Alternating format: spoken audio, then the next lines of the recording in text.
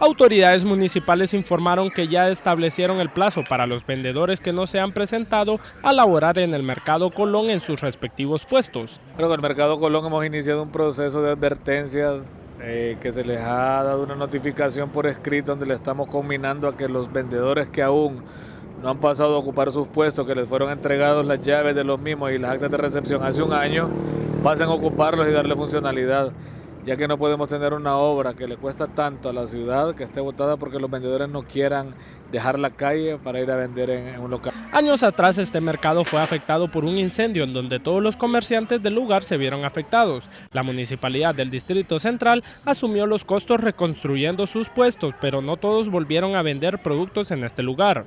Sí, claro, nosotros inmediatamente que la alcaldía nos entregó los locales nuevos, eh, nosotros estamos atendiendo, el 50% de los vendedores, dueños de locales, estamos atendiendo.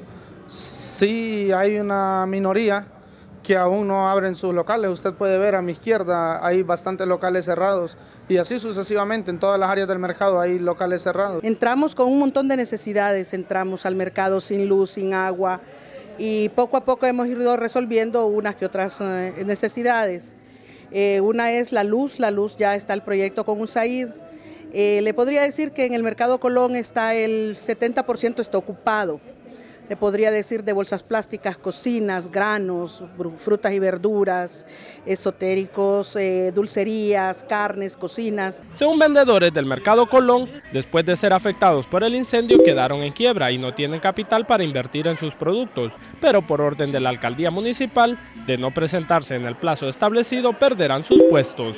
Desde Notifides le invitamos a fomentar una cultura por la paz con imágenes de Amilcar Sánchez, les informó Denis Salgado.